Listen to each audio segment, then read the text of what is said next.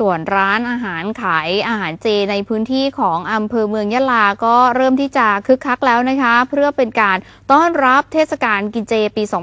2567 ที่จะมาถึงในวันที่ 3 ถึง 11 ตุลาคมนี้ โดยทางมูลนิธิเหรียญฟ้าอัมยะลาค่ะแล้วก็เจ้าหน้าที่ของทางศาลเจ้าก็ร่วมด้วยช่วยกันในการเตรียมพร้อมเรื่องของสถานที่สำหรับที่จะให้พี่น้องประชาชนได้มาสักการะสิ่งศักดิ์สิทธิ์ภายในศาลเจ้า ตลอดจนช่วงเทศกาลทั้งหมด 9 วันนี้เลย รวมทั้งมีการเตรียมความพร้อมทั้งเรื่องของการเปิดโรงเจ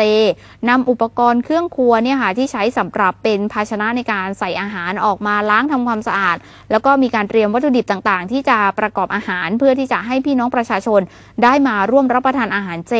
นอกจากนี้ทางมูลนิธิเองก็มีการเปิดรับบริจาคข้าวสาร ผักสด เครื่องอุปโภคบริโภค เพื่อที่จะนำไปประกอบอาหารในการเปิดโรงครัว ให้รับประทานอาหารเจ รวมไปถึงยังมีการรับปิ่นโตด้วยนะคะ เป็นการผูกปิ่นโตสำหรับผู้ที่ทานเจอีกด้วย ขณะที่ร้านขายอาหารเจอย่างร้านชามเจค่ะ ซึ่งก็อยู่คู่กับชาวยะลามานานกว่า 26 ปี ก็เริ่มที่จะจัดสถานที่ล้างทำความสะอาด วัสดุอุปกรณ์สำหรับการประกอบอาหาร